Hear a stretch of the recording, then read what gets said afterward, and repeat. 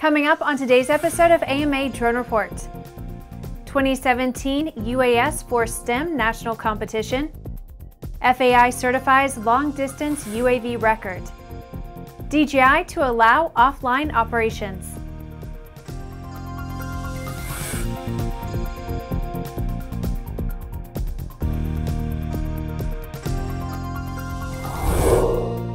Hi, I'm Bree Cross. Welcome to Airborne's AMA Drone Report on Aero TV, a weekly news program covering the recreational drone world in partnership with the Academy of Model Aeronautics, one of the oldest and most respected aviation organizations in the world, with more than 195,000 members and 2,400 clubs across the country.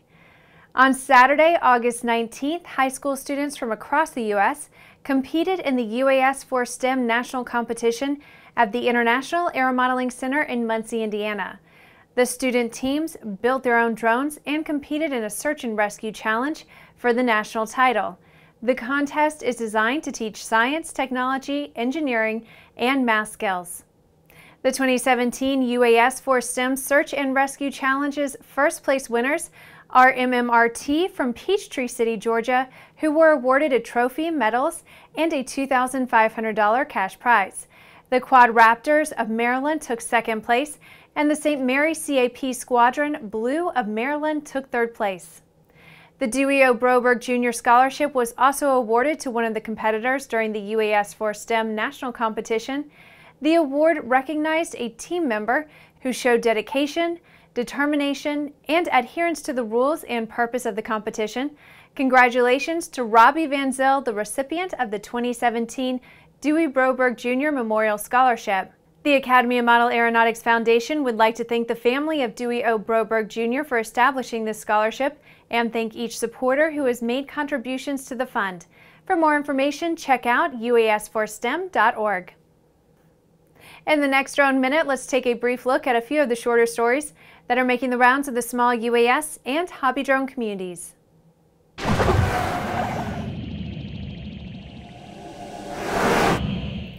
It made a bit of a fuss when first announced, but Drones Direct out of the UK has pulled their listing for a Phantom 4 modified to undertake the chore of walking man's best friend. The media loved the idea and gave it a lot of press, but DJI reportedly took offense at the 2,000 pound offering, and so the augmented Phantom Canine Walker has been curbed. A new FPV racer has debuted with the September availability of Aerix Drones Da Vinci. Labeled as a midsize aerial photography racing drone hybrid, DaVinci offers live streaming onboard FPV camera capabilities at up to 720p at 25 frames per second. The UAV is capable of speeds up to 30 miles per hour with 15-minute flight times. The $295 package comes with the drone, controller, FPV monitor, batteries for the vehicle and its controller, blades, charger, and tools. A little out of our normal realm, but otherwise noteworthy, is the upcoming AMA Foundation for the Future Jet Rally, running from August 24th through the 27th. The event is held in conjunction with Fly Iowa 2017. The AMA Jet Rally will be held at the Ottumwa Regional Airport on a 100 by 3500 runway, closed to full-scale aircraft for the weekend. The pilot registration fee for the event is $75 and includes the pilot steak dinner with live entertainment, meet and greet with airshow pilots and VIPs, as well as one pit crew pass. DJI is releasing a new firmware update to further enhance flight safety and performances of the DJI Spark. The update enhances Spark's battery management system to optimize power supply during flight. In addition, the new firmware has added support to fully integrate Spark with the DJI goggles, optimize the palm launch function for better stability after takeoff, improve the accuracy of controls under the QuickShot Dronie mode, and enhance the compatibility of the remote controller when syncing up with new firmware updates. Among the nearly 100 videos we've undertaken in partnership with AMA and found on the AMA Drone Report YouTube channel is a neat profile from this year's Consumer Electronics Show featuring the hover camera selfie drone. Just check out amadronereport.com and search for Aero TV Hover Camera Passport, a gesture-controlled selfie drone. That was our drone minute. Now back to the rest of the news. Think batteries on your FPV racer run down too fast?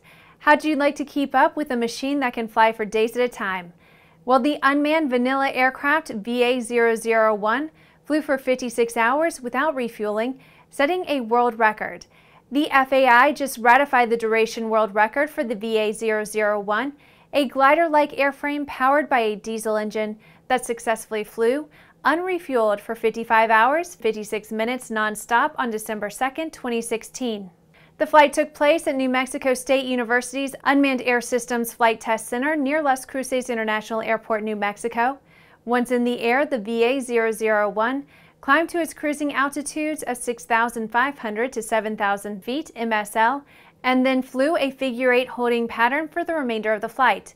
During the flight, it was carrying a 20-pound payload. While the record flight was originally planned for a 120-hour mission, it ended early due to bad weather. After flying nonstop for nearly two and a half days, the VA-001 returned to the starting point. Remarkably, there was enough fuel left on board to fly a further four and a half days. The record claim was ratified by the FAI on August 23, 2017. After some issues raised about vehicle security, DJI is developing a new local data mode that stops internet traffic to and from its flight control apps in order to provide enhanced data privacy assurances for sensitive government and enterprise customers. DJI flight control apps routinely communicate over the internet to ensure a drone has the most relevant local maps and geofencing data, latest app versions, correct radio frequency, and power requirements, and other information that enhances flight safety and functionality. When a pilot enables local data mode, DJI apps will stop sending or receiving any data over the internet, giving customers enhanced assurances about the privacy of data generated during their flights. Because it blocks all internet data, use of local data mode means DJI apps will not update maps or geofencing information, will not notify pilots of newly issued flight restrictions or software updates, and may result in other performance limitations. However, it will provide an enhanced level of data assurance for sensitive flights, such as those involving critical infrastructure, commercial trade secrets, governmental functions, or other similar operations. Local data mode has been in development for several months and will be included in future versions of DJI apps starting in the next several weeks. Well, that's our program for this week. In addition to this program, our daily Airborne Limited episodes covering the entire aviation and aerospace world are streamed Monday through Friday. Don't forget to subscribe, like, and tweet us. Get comprehensive real-time 24-7 coverage of the latest aviation and aerospace stories anytime at aero-news.net and more information on the exciting hobby drone world at modelaircraft.org. We'll see you next week.